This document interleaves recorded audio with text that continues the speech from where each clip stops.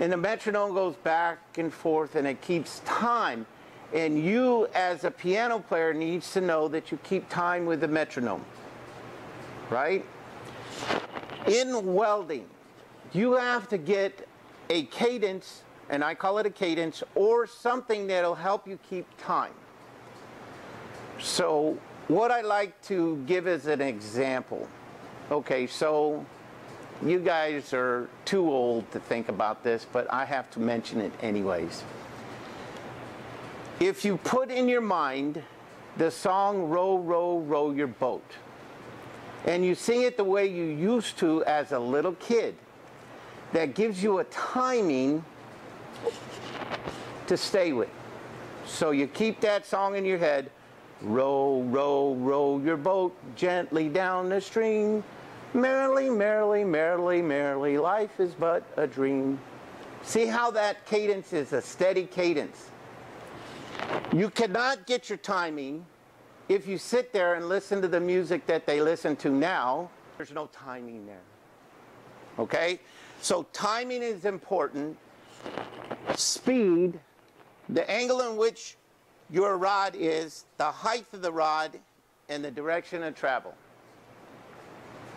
Then you're riding a bike.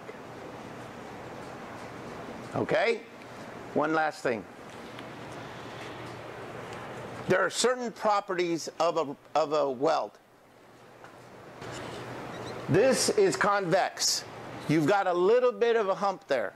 This is what your weld needs, a convex weld. You do not need a concave where there's a dimple.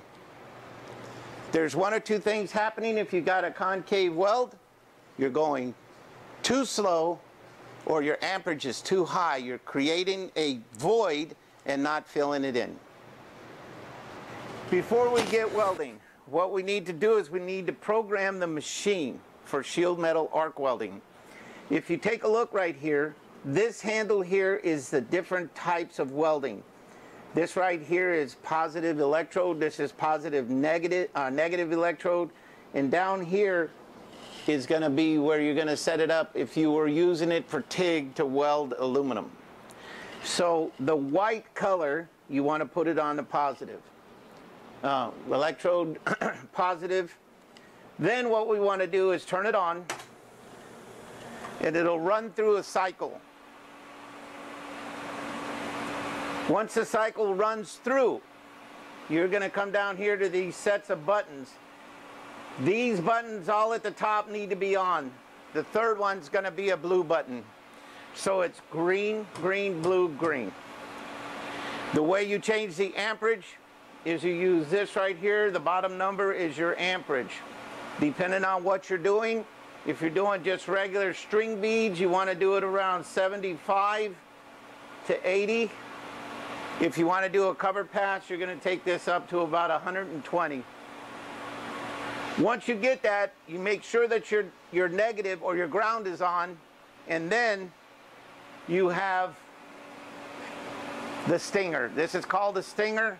This is where the electrode goes in, and this is where all the business happens. You put the bare metal into the uh, stinger, and then you're still good. Make sure that you hang that in that pipe because if you set it on the table, if you set it on the table, it might short out or arc out.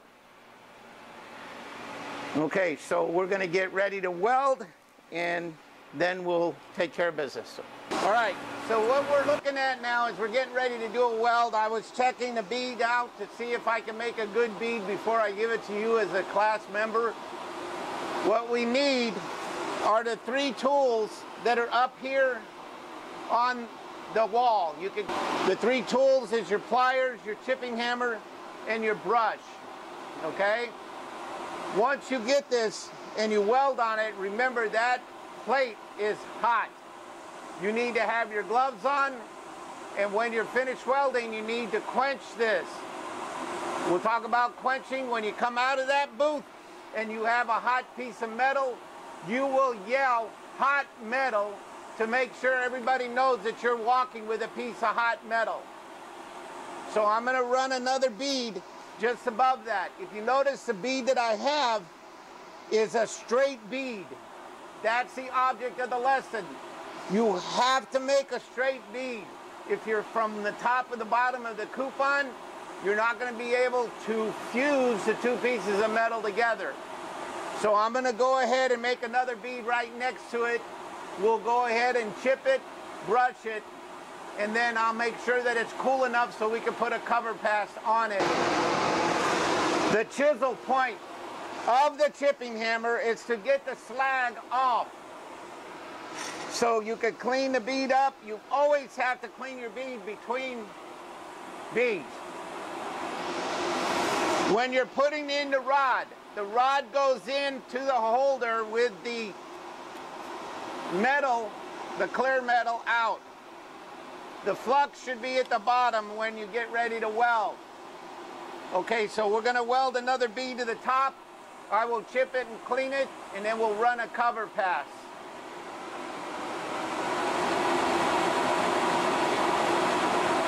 Eyes.